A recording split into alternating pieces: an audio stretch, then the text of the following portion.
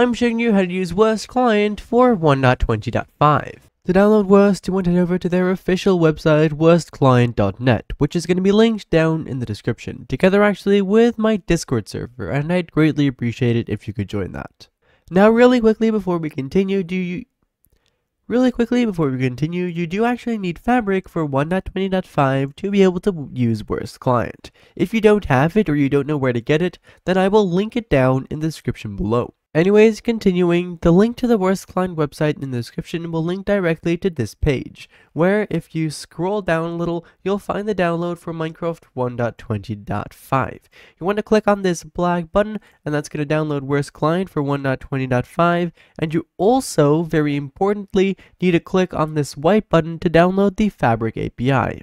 Now as you can see my downloads, I have the Fabric API as well as Wurst Client. So what I can do now is press on Windows and R at the same time, and then right there type a percentage sign, app data, and then another percentage sign just like so.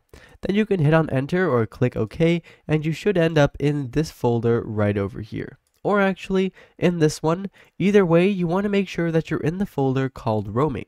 Then go into the .minecraft folder. You might need to scroll down a little until you find the mods folder. This is the folder that you want to drag both the Fabric API as well as the Wurst client files right into, just like so. And once you've done that, you can close up both of these and open up the Minecraft launcher. This new loading screen is really cool, by the way.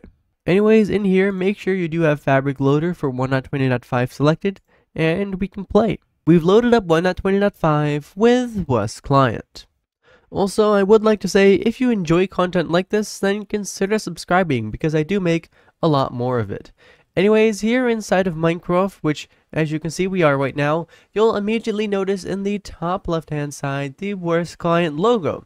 If you see that there, it's great and it means that the client has been successfully activated. Anyways, I'm now going to be briefly showing you guys how to use it. I do actually have a complete in-depth tutorial telling you everything you need to know linked down in the description. I'm right now just going to be explaining how you can basically get started. Anyways, you can press on right shift and that is going to open up this menu over here. This menu basically contains all of the utilities that Wurst Client offers. As you can see, there is quite a lot. You can search for specific ones up here, and you can simply click on these to enable them, and click on them to disable them once again. If you hover above them, as you can see, you'll get a brief description. Now you'll also notice these green arrows. If you click on the arrow just like so, then you will get a little bit of a larger menu for this specific utility. In this case, AirPlace. It tells you the type, what it does, as well as gives you some optional settings. And probably most importantly, it allows it gives you basically a section where you can set a keybind for this. The keybind is, um, well, this client allows you to set a keybind for basically all of these. There we go, I finally found one that has a little more customization so I can show you. Basically, as you can see, the Mob ESP has a bunch of custom settings as well. Anyways, you can also, of course, enable it and disable it through there. All of these up here are sorted by alphabet. You can see when we scroll down all the way to the bottom here, the alphabetical sorting starts again, and these are other kind of types of utilities. For example, we have the Wurst logo over here, which is currently right there. If we can click on this and then we can actually um, disable it just like so. If you do, of course, wish to do that, we have the zoom functionality over here, which also allows you to set a keybind for the zoom. Um, there is the tab GUI, which I can enable right now. Um, there we are. And it basically allows you to, from out of this menu, access the GUI, which is this stuff, but then with the arrow keys, as you can see. Um, anyways, basically that is that. You can enable that if you do wish to do so. Some people prefer it. Some people don't. Honestly i don't really use it.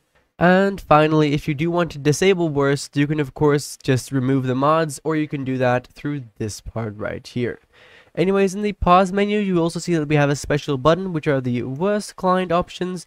Basically, it has the managers for your keybinds, x-ray, and zoom, as well as some other general things, as well as settings. Anyways, finally, you can actually, um, there, this client has some commands. You might have seen them earlier since they are all listed here with a dot. Anyways, um, just like in Minecraft, you have slash give, for example, the slash is the prefix. For Wurst client, the dot is the prefix. So I can type in dot help right here.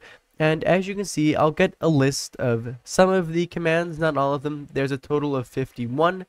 You can list specific pages, or once again, you can just right shift, and they are all listed here with the prefix of a dot.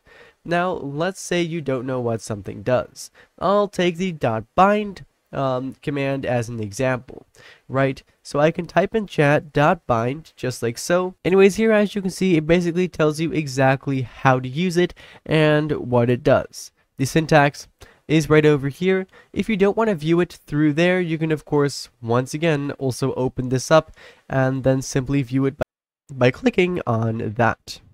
Anyways, um, that was basically that. Remember, the in-depth tutorial is down in the description. And, oh yeah, there's actually one more thing. You see, a bunch of people in the last video was saying that I was calling Wurst Client the worst client, aber das ist nicht so.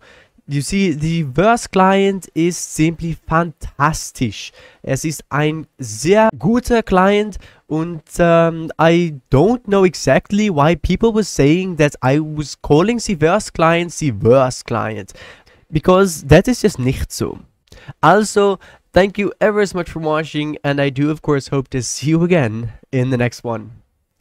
Bye bye.